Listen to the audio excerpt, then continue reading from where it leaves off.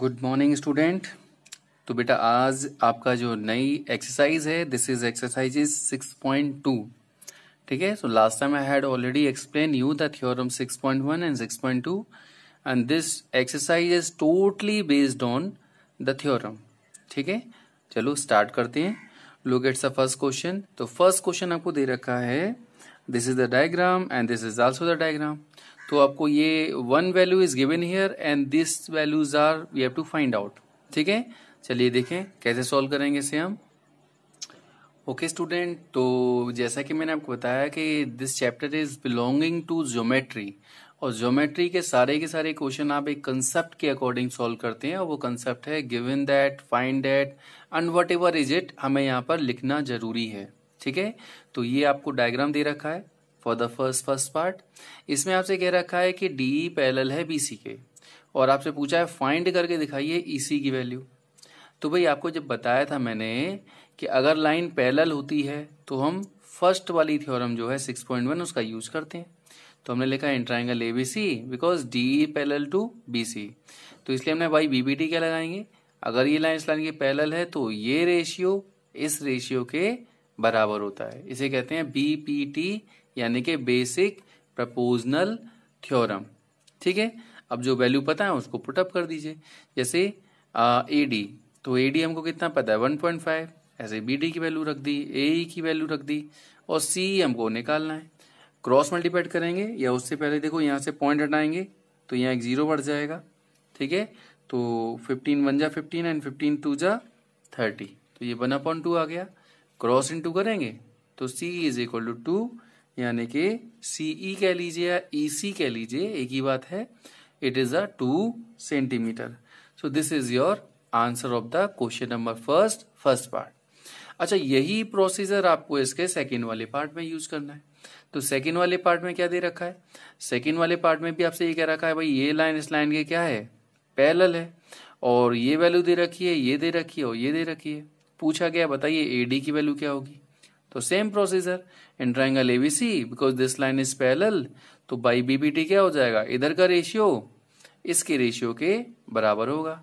तो A D upon B D equal हो जाएगा ए ई अपॉन सीई अब जो वैल्यू आपको पता है, उस वैल्यू को पुट कर दीजिए।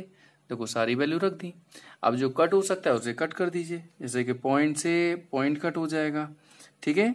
तो ये नंबर हो जाएगा एटीन वन जा एटीन एटीन थ्री जा फिफ्टी फोर अच्छा इस सेवन पॉइंट टू का इधर वन में टू का तो seven point two upon three और थ्री से सेवन पॉइंट टू डिवाइड करेंगे तो कितना आंसर आएगा?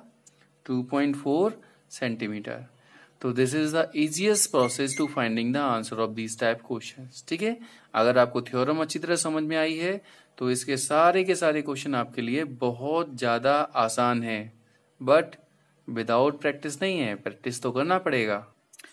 Okay student move on to the next question number two तो अगला क्वेश्चन नंबर टू आपको कह रखा है E and F are the point on the side P Q and P R respectively of a triangle P Q R भाई ये diagram इसका नहीं है, याद रखना, ठीक है? यहाँ हमें एक ट्राइंगल पी क्यू आर बनाना है, उस पर पी क्यू पर एक पॉइंट ई e लेना है और पी आर पर एक पॉइंट एफ़ लेना है। इसके बाद आपको ये पता करके दिखाना है कि बताइए प्रूव करके दिखाइए कि ये लाइन इस लाइन के पैरेलल है या नहीं। तो पैरेलल का पता हम किससे लगाते थे? सेकंड वाली थ्योरम से लगाते थे। भाई सिंपल सी बात है, अगर साइड का रेशियो बराबर आ रहा है तो है पैरेलल। और अगर नहीं आ रहा है तो नहीं है पैरेलल। तो देखिए, कैसे सॉल्व करेंगे इसे हम ओके तो बेटा देखिए, इसमें आपको गिवन दैट में दे रखा है इंट्राइंगल पी क्यू और ये सारी वैल्यू दे रखी है for the first part prove that prove करके दिखाना ये इसके पैरेलल है या नहीं है। तो सॉल्यूशन मैंने क्या बताया था? अगर ये लाइन अगर हम इसको ज्वाइन करते हैं तो ये लाइन इस लाइन के पैरेलल कब हो सकती है? जब क्या हो यहाँ पर? इसका रेशियो बराबर हो। यानी कि ये जो लाइन है, ठीक है ई e एफ़ ये जो लाइन है, ये लाइन या लाइन सेगमेंट इसके पैरेलल कब हो सकती है? जब इनका रेशियो बराबर हो। ये रेशियो और ये वाला रेशियो क्या हो? बराबर हो। तभी तो लगेगी हमारी। By the converse of BPT तो चलो देखते हैं। देखो, पहले मैंने पी और क्यूई का रेशियो निकाला। वैल्यू को पुटअप किया। तो आंसर आया थर्टीन अपॉन टेन अब मैंने यहाँ पर P F upon R F का निकाला रेशियो तो ये रेशियो निकला थ्री अपॉन टू क्या दोनों इक्वल हैं? नहीं है। और नहीं है तो लिख देंगे no this side is not ratio is not equal that's why lines are not parallel ठीक है? इसी तरह से इसका सेकेंड वाला पार्ट है। वो भी पूरा सेम प्रोसीजर है। देखिए गिवन दैट में सारी की सारी वैल्यू लिख दी हमने। प्रूव डेट में वही चीज़ करनी है जो ऊपर वाले क्वेश्चन में करनी थी। भाई क्वेश्चन तो सेम है ना, सिर्फ़ वैल्यू तो चेंज हुई है। तो यहाँ भी वही काम करेंगे जो यहाँ किया था। ठीक है? तो सबसे पहले in triangle P Q R पहले वाले का रेशियो निकाला और दूसरे वाले का भी रेशियो निकाला। क्या रेशियो बराबर है? यस रेशियो बराबर है। और अगर रेशियो बराबर है, यानी कि so this ratio is equal to this और रेशियो बराबर होता है तो मैंने क्या बताया था? सेकेंड वाली थ्योरम बताई थी ना आपको? तो by the converse of BPT otherwise लिख सकते हैं by theorem 6.2 this line is parallel to this इस तरह से हम इस क्वेश्चन को सॉल्व कर सकते हैं। Okay student now move on to the next question number four तो बेटा याद रख लीजिए ज्योमेट्री क्वेश्चन इज़ फोर्थ नहीं थर्ड वाला क्वेश्चन पहले बताते हैं। तो geometry question is really easy सबसे ज़्यादा आसान होते हैं ज्योमेट्री क्वेश्चन क्यों? सारी वैल्यू तो दे ही रखी होती है। बस हमें लिखना बार होता है। कोई कैलकुलेशन नहीं, कोई मल्टीप्लीकेशन नहीं, कोई डिवीज़न नहीं सिंपल सा आंसर होता है। ठीक है? देखिए कैसे करेंगे। तो इन फिगर 6.18 यानी कि ये वाला फिगर है इसका। तो यहाँ पर ये कह रखा है कि एल एम टू सी यानी कि एल जो है ये सी बी यानी बी सी के पैरल है। और L N parallel to C D ये एल एन जो है वो इस लाइन के पैरल है। तो प्रूव करके दिखाइए कि A M upon A B A M upon A B equal होगा A N upon A D ये रेशियो में प्रूव करके दिखाना है। ठीक है? देखिए, कैसे करें। तो बेटा, इस तरह के क्वेश्चन में समझने की पहली चीज़ तो ये है कि आपको ये सारी डिटेल आनी चाहिए। और डायग्राम आपका प्रॉपर होना चाहिए, ठीक है? क्योंकि इसके भी मार्क्स स्टेप मार्किंग में कट जाते हैं अगर आप ये स्टेप को फॉलो नहीं करेंगे। सपोज़ आप सॉल्यूशन से डायरेक्ट कर रहे हो you didn't draw the diagram आपने ये कुछ नहीं लिखा तो स्टेप मार्किंग में आपके नंबर कट सकते हैं। इसलिए ध्यान रखना है स्टेप का भी। तो सबसे पहले हम लिखेंगे गिव इन दैट तो ये दो चीज़ हमको गिव इन दैट में दे रखी है। प्रूव दैट तो ये हमें प्रूव करना है, वो लिख दिया। अब सॉल्यूशन अब सॉल्यूशन यहाँ पर देखिए दो ट्रायंगल बन रहा है, एक बन रहा है ए बी सी एक बन रहा है ए सी डी तो पहले मैं लेता हूँ ए बी सी अब इस ए बी सी में क्या है? ये दे रखा है, ये लाइन लाइन के पैरेलल है। तो लिखा है L M parallel to C B और आपको पता है किसी भी ट्राइंगल में अगर वन साइड के पैरेलल कोई साइड होती है तो वो रेशियो क्या होता है? बराबर होता है। अच्छा मैंने ये भी बताया था कि जिस तरह से हम इधर रेशियो लेंगे, वही तरह से हमें यहाँ भी रेशियो लेना होगा। यहाँ हम अगर A M upon B M करते तो यहाँ हमें A L upon C L करना पड़ता। अगर यहाँ पर हम A M upon A B करेंगे तो यहाँ हमें ए एल अपॉन ए सी करना पड़ेगा। मतलब जिस तरह से आप इधर मूव करेंगे, उसी तरह से आपको इधर मूव करना है। ठीक है? तो यहाँ मैंने, क्योंकि क्वेश्चन मुझे A M upon A B चाहिए था तो मैंने लिखा A M upon A B तो यहाँ मैंने A M upon A B लिया। तो इधर क्या हो जाएगा? ए एल अपॉन ए सी हो जाएगा। Equation number one by BPT same procedure आप यूज़ करेंगे फॉर द सेकेंड ट्राइंगल अब हमने सेकेंड ट्राइंगल लिया ए सी डी यहाँ पर ये साइड साइड के पैरेलल है। तो यहाँ भी हम यही करेंगे कि A N upon A D यही तो चाहिए हमें। इक्वल टू क्या हो जाएगा? A N upon A D equal to A L upon A C हो जाएगा by BPT equation number two अब इक्वेशन वन और टू को अगर हम कंपेयर करें तो यहाँ देखो, यहाँ भी ए एल अपॉन ए सी है और यहाँ भी ए एल अपॉन ए सी है। तो किसी इक्वेशन के अगर आर एच एस बराबर है, इसका मतलब एल एच एस भी बराबर होगा। तो बस from equation one and two ये दोनों बराबर है, इसलिए ये दोनों भी बराबर होंगे। और यही आपको प्रूव करना था। हो गया आंसर हमारा। ओके तो मैंने कहा ना क्वेश्चन बहुत आसान होते हैं। बस ये डिपेंड करता है कि how you are treating this question so much easy question ठीक है? तो ध्यान से करना है बेटा। अब देखिए अगर अगर आपको क्वेश्चन नंबर थर्ड में प्रॉब्लम नहीं है तो फोर्थ में भी प्रॉब्लम नहीं होगी क्योंकि थर्ड और फोर्थ बिल्कुल सेम है। ठीक है? देखिए क्या सेम तो यहाँ पर आपको ये ट्राइंगल दे रखा है। अब यहाँ पर दो तरह की लाइन दे रखी है D parallel to AC DE line जो है, वो एसी के पैरल है। अब इसको उन्होंने और से ज्वाइन कर दिया, इसे इसके पैरल बना दिया। तो डी एफ़ पैरल है एई के। तो डी एफ़ जो लाइन है, वो एई के पैरल है। तो ये आपको प्रूव करके दिखाना है। देखिए कैसे करेंगे। तो वही, सबसे पहले हमें अपने स्टेप्स पूरे करने होते हैं तो क्या करेंगे? Given that whatever given you can write here prove that whatever you to prove put up here and the diagram it should be neat and clean ठीक है ना? नहीं तो नंबर कट जाते हैं भाई, ध्यान रखना। तो सबसे पहले कोई भी ट्रायंगल ले लो, मान लो मैंने ए बी सी लिया तो यहाँ कुछ पैरेलल दे रखा है? यस ये लाइन इस लाइन के पैरेलल दे रखी है। तो डी पैरेलल है इसी के। ठीक है?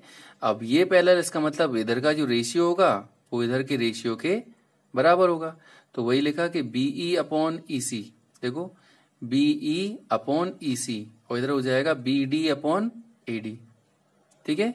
इक्वेशन नंबर वन और लिख सकते हैं बाई बीपीटी अब एक और ट्राइंगल है यहाँ पर। भाई, ये लाइन भी तो पैरेलल है। तो अब ट्राइंगल लिया ए बी ई ठीक है? यहाँ क्या पैरेलल है? डी ए पैरेलल है ए ई के तो इसका रेशियो किसके बराबर हो जाएगा? इसके बराबर हो जाएगा। ठीक है? देखिए, कैसे करते हैं इसे हम? तो क्या हो जाएगा? क्योंकि लाइन पैरेलल है, इसका मतलब B F upon F E ठीक है? इक्वल हो जाएगा B D upon A D के ठीक है? देख सकते हैं इसे आप। ओके तो हम जैसे ही दोनों इक्वेशन को कंपेयर करेंगे, दोनों में क्या इक्वल दिख रहा है? B D upon A D B D upon A D जब आर एच एस बराबर है तो इसका मतलब एल एच एस ही बराबर होगा और यही हमें प्रूव करना था।